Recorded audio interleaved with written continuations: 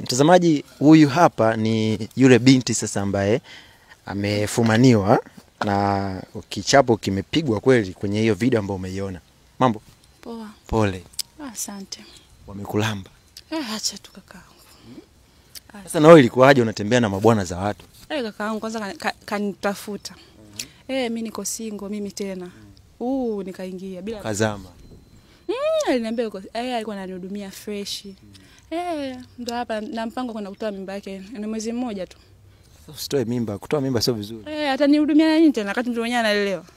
Sasa uko eh, ata, ata, ata, atafanya namna tu kwa sababu si mwanaume Mwanaume ana wanaume gani? Nyo.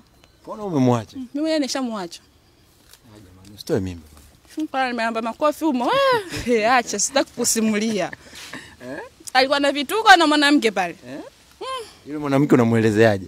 Eh, kuna wanawake afu kuna yule Mwamba. ule mfano Kaluka kwanza kwenye kitanda. mandonga mtu kazi Sawa. Sasa video video ameisambaza ame, ame, kama hivyo, wewe kwako unajisikiaje? Eh. kumbe mlikuja na kamera Umeona na rekodi? Eh, kwa hiyo wewe una- wewe unajua funga mfumanizi wewe kuna hadi kuangalia kama kuna kamera kuna watu Kwa ipo toka toka tu wewe acha kabisa Eh, Hiyo video nimeiona watu wana zoom tu wanasema dada mwenyewe mpole kajificha huko.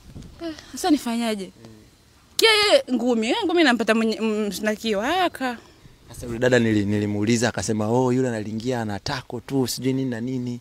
Eh, kikubwa nalo uzuri nao kila kitu ana nini mwambamba kama kijiti cha, cha, petroli sinchefue Kwa hiyo na yeye una unamtumia salamu zake. Eh. Mwanamume apigwi. Mm. Mwanamume apigwi. Anahudumia. Au ndo sababu mwanaume wake aliamua kuja kwako. Inaweza ikawa. Inaweza ikawa. Unawaambia nini sasa wanaume ambao hawasemi ukweli? Eh, kwanza wapunguze. Ndio kama hivi alionikuta.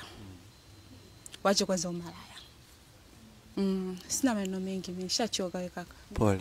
Mm, asante. Lakini unatia huruma. Eh, kaka nenda nishachoka. Niache. Ulikula lakini Eh, kaka.